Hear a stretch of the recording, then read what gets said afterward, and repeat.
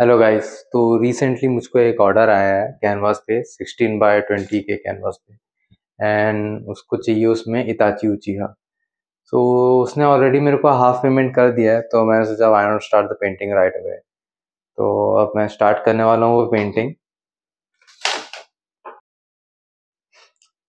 सो so, फ़िलहाल तो अभी इसको इसका जो झिल्ली है इसका पन्नी जो है उसको हम लोग फाड़ते हैं फ़िलहाल तो। वेर इज़ माई कटर यार। यही होता है रूम जब खराब रहता है ना, सब इधर उधर पड़ा हुआ है रूम भी साफ़ करना पड़ेगा एक बार। आहा, मेरा।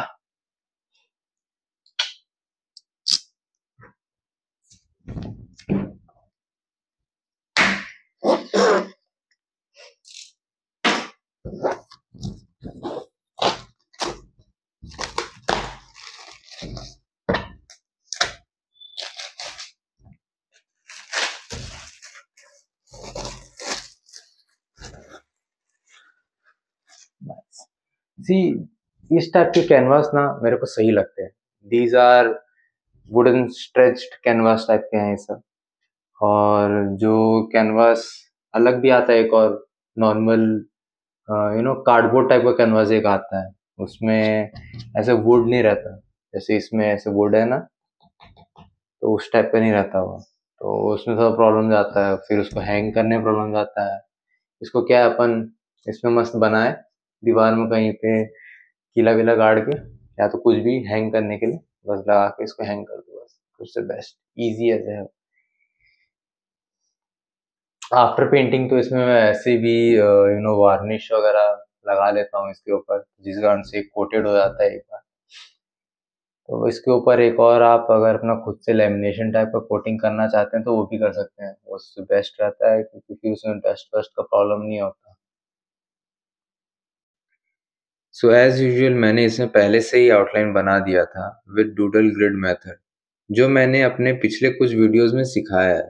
So do check them out enjoy the rest of the painting process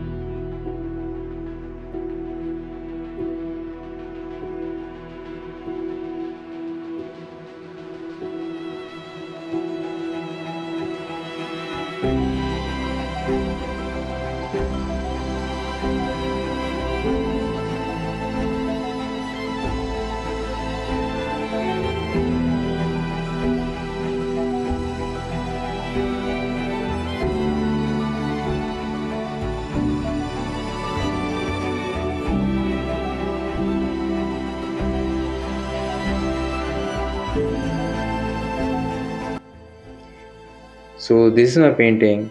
Do like and subscribe if you want to see more content related to painting and art. And if you have any questions, do comment. I reply to them. And जो यहाँ तक video देखा thank you and बाकी सब लोग भाड़ में जाओ